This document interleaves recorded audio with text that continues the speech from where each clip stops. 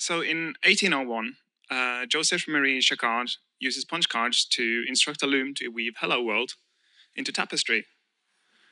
Redditors at the time are not impressed due to the lack of tail call recursion, concurrency, or proper capitalization.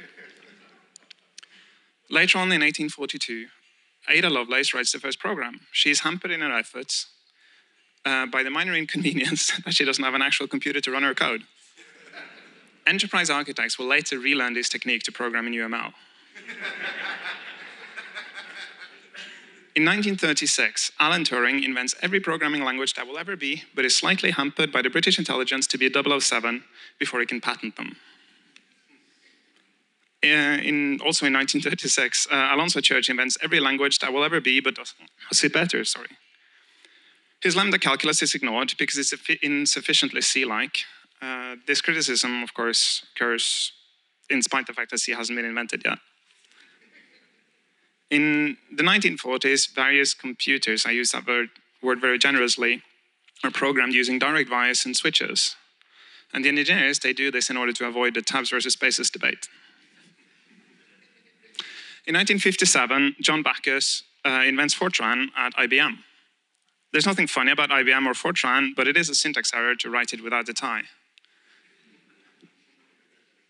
In 1958, John McCarthy uh, invents Lisp due to a high cost, uh, due to depletion of uh, the post-war depletion, sorry, of strategic parentheses reserve, Lisp never really becomes popular. It does, however, remain an influential language in key algorithmic techniques such as recursion and condescension. After losing a bet with L. Hubbard, Grace uh, Hopper and several others invent the capitalization of boilerplate-oriented language, years later, in a misguided sexist retaliation against Admiral Hopper, uh, uh Hopper's COBOL work, Ruby conferences frequently feature misogynistic material. In 1964, um, John Kemeny and Thomas Kurtz create BASIC, uh, an unstructured programming language for non-computer scientists. In, uh, in 1965, they go to 1964. In 1970, Guy Steele and Gerald Sussman create Scheme. Uh, their work leads to a series of Lambda the Ultimate papers, culminating in Lambda the Ultimate Kitchen Utensil. This paper becomes a basis for, um, for long-running but ultimately unsuccessful uh, run of late-night infomercials. Lambdas are relegated to relative obscurity uh, until Java makes them popular by not having them. In 1970, Niklaus Wirth creates Pascal, procedural language, Criti uh, critics immediately denounce Pascal um, due to its x colon equals x plus y syntax, instead of the more familiar C like x equals x plus y. This criticism happens despite C not being invented yet. In 1972, this is I get. Dennis Ritchie invents a powerful gun that shoots both forwards and backwards at the same time. He is slightly unsatisfied with the number of deaths and permanent maimings, so he goes on to invent C and Unix. In 1980, Alan Kay creates Smalltalk and he invents the term object-oriented. When asked what he means, eh, he replies, Smalltalk programs are just objects. When asked what objects are made of, he replies, objects. When asked again, he says, look, it's just objects all the way down.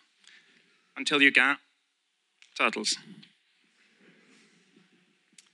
In 1983, Bjarne Stroustrup bolts everything he's ever heard of onto C to create C++. The resulting language is so complex that programs must be sent to the future to compile with Skynet. Build times suffer.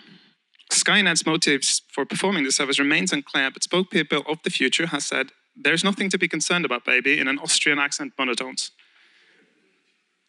There is some speculation that Skynet itself is nothing more than a pretentious buffer overflow.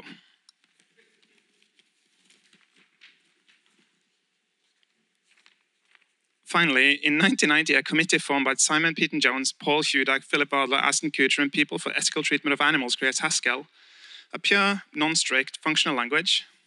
It does get some resistance due to the complexity of using monads to control side effects. Wadler tries to appease the critics um, by explaining that a monad is just a monoid in the category of endofunctors. So what's really the problem? Thank you. Go see the monad talk.